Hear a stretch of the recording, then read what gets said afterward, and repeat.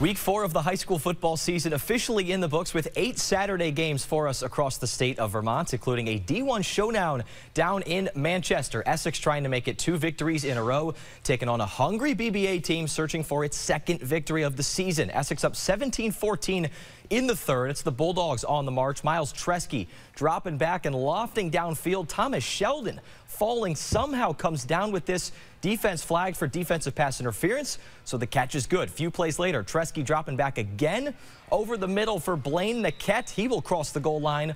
Bulldogs ahead 2017. Into the fourth, they're still up. Tresky going deep for Sheldon one more time, going horizontal for this grab. However, the Hornets hold strong and would get the ball back. Essex able to run down the clock to 30 seconds. And from the two, Carter Crete just gets into the end zone to regain the lead. And Essex would hang on to win this one with a final of 24 to 20. Up now in Bristol, Mount Abe looking to stay above 500 as they hosted Otter Valley. The Eagles trailing early second. Tyler White rolling out near the Otter end zone to buy some time. He would find Ryan Wright wide open to give the Eagles a 12-7 advantage. Down now on the far side, the Otters on the move. Play action for Zach Dragon. He will float one up for Chase Razanowski to the high point. He would high point the ball and put OV right back in front. And it got worse before it got better for Mount Abe Vergennes. White picked off by Noel Pearsons, and there is no one in front of him on the pick six. However, the Eagles would score 24 of the next 31. White from a yard out coming up here.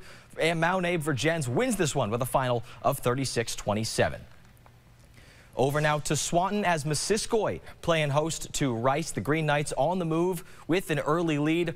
Little reverse action here. Isaiah Lagasse with it after a brief moment of cameraman confusion. He marches his way into opponent territory and down near the red zone. After the quarter flips, Griffin Seitz finds Pater 22 to nothing Rice in the second. Later on in the second, more Green Knight offense on the move. It sights around the outside. He would find the end zone once more, and Rice would stay unbeaten as they win it 56 to 6.